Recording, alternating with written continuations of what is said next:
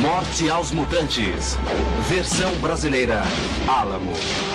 Preciso encontrar a cura. Há um homem que talvez possa me ajudar. Dizem que ele é o maior especialista do mundo em mutações genéticas. O sensor aranha. Eu não vejo nada aqui.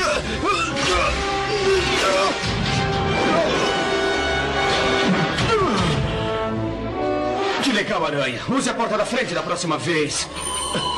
Ora, ora, quem diria? Coloquei papel pega-mosca e peguei uma aranha. Faça um movimento errado e você já era. Homem-Aranha!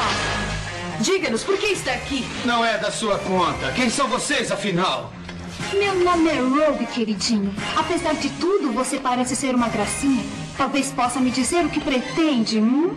Ele não irá falar. Que tal se arrancássemos uma explicação? Que ideia interessante. Mas que tal essa?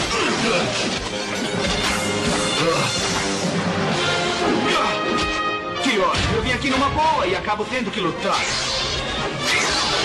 Segure ele!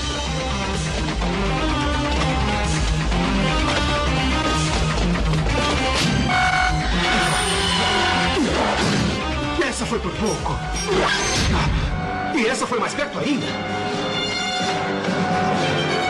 Preciso escolher uma porta. Qualquer uma.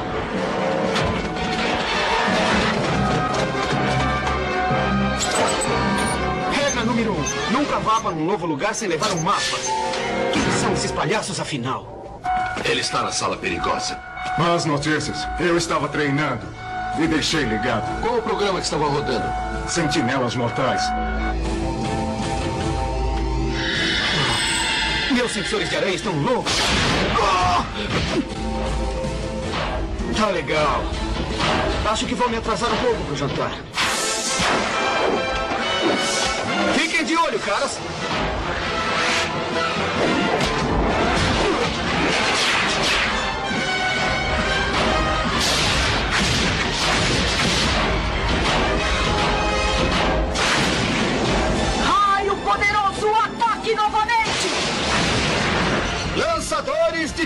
De teias que sejam bem grudentas.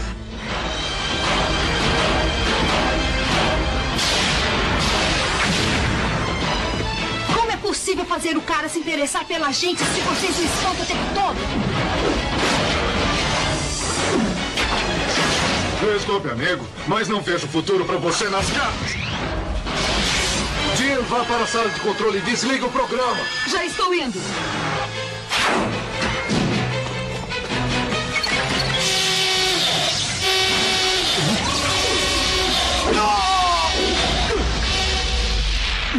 Eu acho que o show acabou. Para você ainda não. Chega!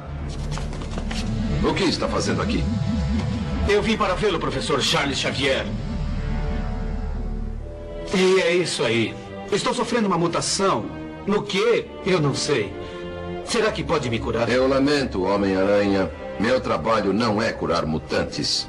Construí este prédio e esta escola para treiná-los. Ajudo-os a aceitarem quem são e como são. Aceitar? Mas eu não quero me tornar uma coisa. Vê lá como fala. Ser um mutante é um privilégio, cara. Ah, é? E que tal se esse privilégio me transformar num monstro de oito pés? Gostaria de ter uma solução para você. Lamento por seu sofrimento. Não se preocupe com o meu sofrimento. Preocupe-se com o seu. E se eu me transformar numa criatura perigosa e você tiver que me parar, hein? É sempre assim. Eu posso salvar o mundo dez vezes em seguida. Mas quando sou eu que preciso de ajuda, estou sempre sozinho. Obrigado por nada. Não vá, Homem-Aranha. Você poderia ser muito útil para nós. Esqueça esse cara, ele é muito independente. Eu não concordo com você, Lobão. Acho que ele me lembra vagamente você quando veio nos procurar.